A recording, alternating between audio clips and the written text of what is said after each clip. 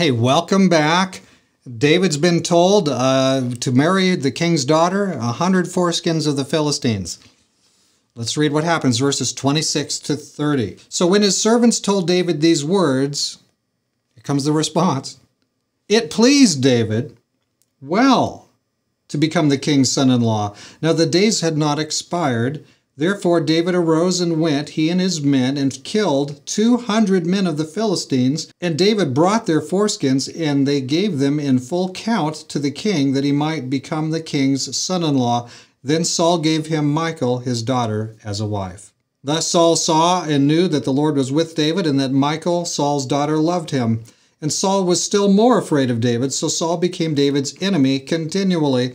Then the princes of the Philistines went out to war, and so it was, whenever they went out, that David behaved more wisely than all the servants of Saul, so that his name became highly esteemed.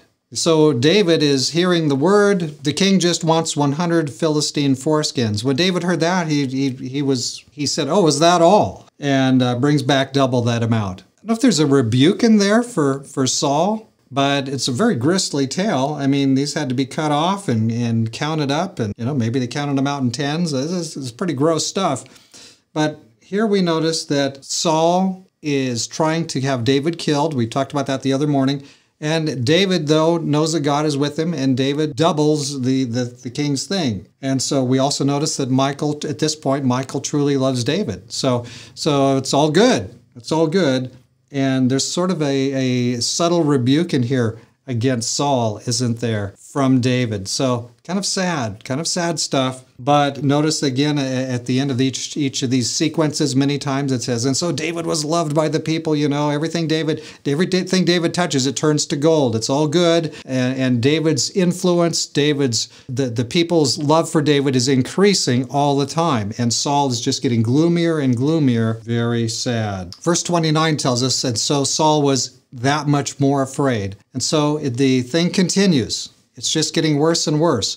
Saul sees David as his enemy continually, and yet David hasn't shown a reason why. May God be our helper. May God help us not to be anybody's enemy, but to be faithful in doing what God would have us to do.